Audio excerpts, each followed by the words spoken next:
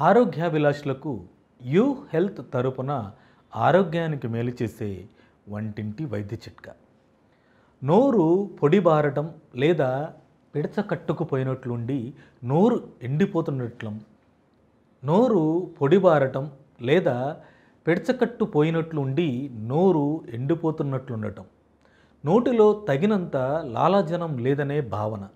ప్రతి ఒక్కరికి ఎప్పుడో ఒకసారి నోరు పొడిబారుతుంది ఇలాంటిది సహజంగా ఏదైనా కలత చెందితేనో లేదా ఒత్తిడిలోనో ఉంటే చోటు చేసుకుంటూ ఉంటుంది.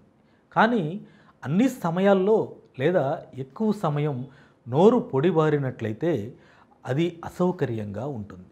కొన్నిసార్లు ఇది తీవ్రమైన ఆరోగ్య సమస్యలను దారితీసే అవకాశం లేకపోలేదు.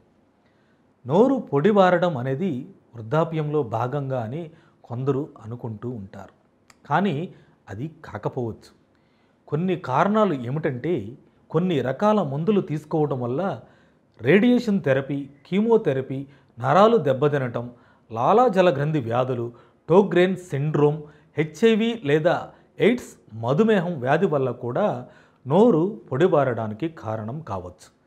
గొంతు ఎండిపోకుండా ఉండాలంటే నీటిని సిప్ చేయటం చేస్తూ ఉండాలి. కెఫిన్ పొగాకు ఆల్కహాల్తో కూడిన పానీయాలను నివారించాలి. షుగర్లెస్ గమ్ నమలటం లేదా చక్కెర లేని గట్టి మిఠాయిని తినడం వంటివి చేయవచ్చు. మరి ఎందుకు ఆలస్యం? మీరు కూడా ట్రై చేయండి.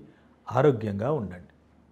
ఇలాంటి మన ఆరోగ్యానికి మేలు చేసే వంటింటి వైద్య చిట్కాలు తెలుసుకోవాలంటే మా ఛానల్ని సబ్స్క్రైబ్ చేయండి. ఈ వీడియో మీకు నచ్చినట్లయితే లైక్ చేయండి షేర్ చేయండి కామెంట్ రూపంలో మీ అభిప్రాయాన్ని తెలియచేయండి.